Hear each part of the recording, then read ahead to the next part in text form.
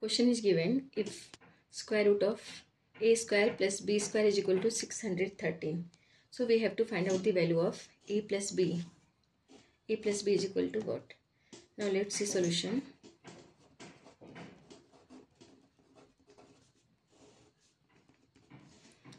First what is given? Square root of a square plus b square is equal to 613 there are many types of solution but we are here doing according to Pythagoras. Now let's see. A square plus b square is equal to 613 taking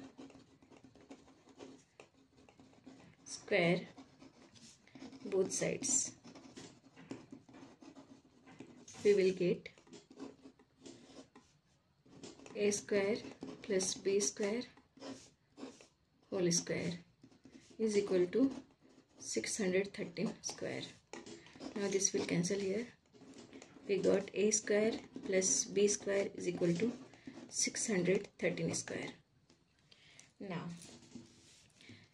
according to Pythagoras theorem,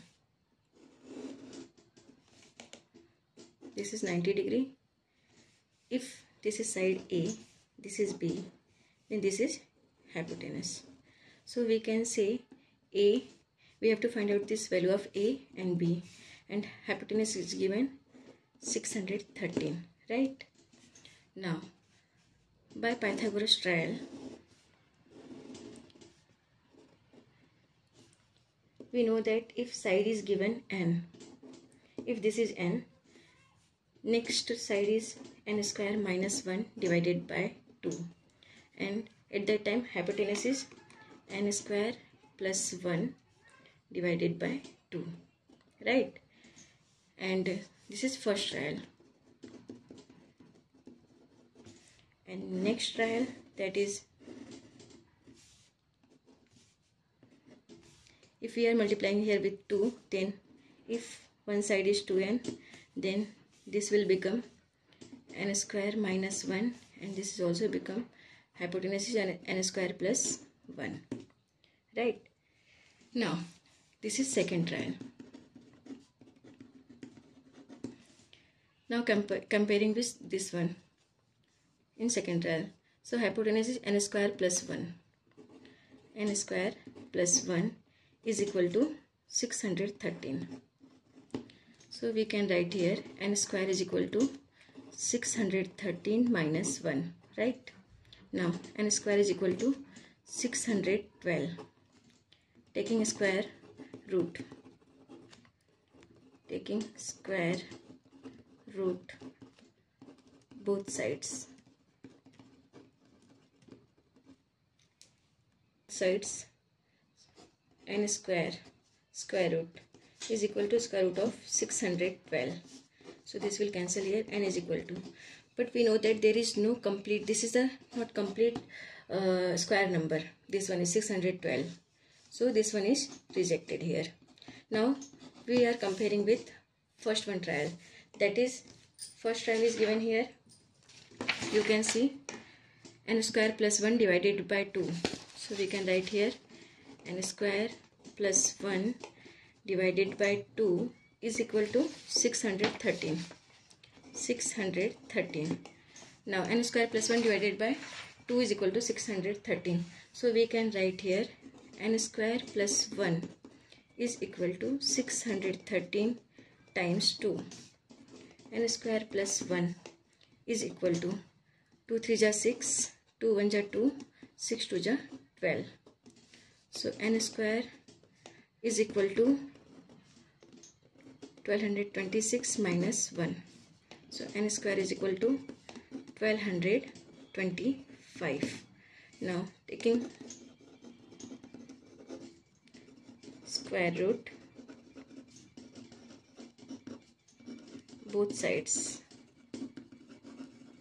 we will get square root of n square equal to square root of 1225 now this will cancel from here. N is equal to now 1225 1225 so 5 to the 10 here 5 4 are 20 and 5 5 are 25 again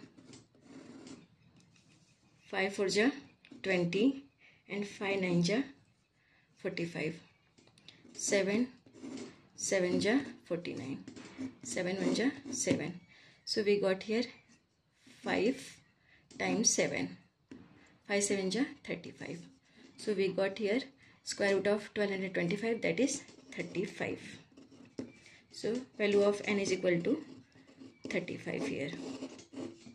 Now b is equal to now comparing with b next side. That is next one is this is b. B is equal to n square minus 1 divided by 2 right? B is equal to n square minus 1 divided by 2 now n value of n that is 35 so we can write here 35 square minus 1 divided by 2 is equal to now square root of sorry square of 35 that is 1225 minus 1 divided by 2 is equal to 1225 minus 1 1224 divided by 2 now cancel this one. 2 6 ja 12 2 1 ja 2 2 2 ja 4 so we got value of b is equal to 612 now we have to find out the value of a here. Equal to here you can say n equal to 35 n is equal to we are considering a is equal to 35 so we can say a is equal to 35 and b is equal to 612 and we have to find out the value of a plus b here. So a plus b is equal to 612 plus 35 now 5 plus 2 7 3 plus 1 4 and here 6 so value of a plus b is equal to 647 you can see here this is the value of a.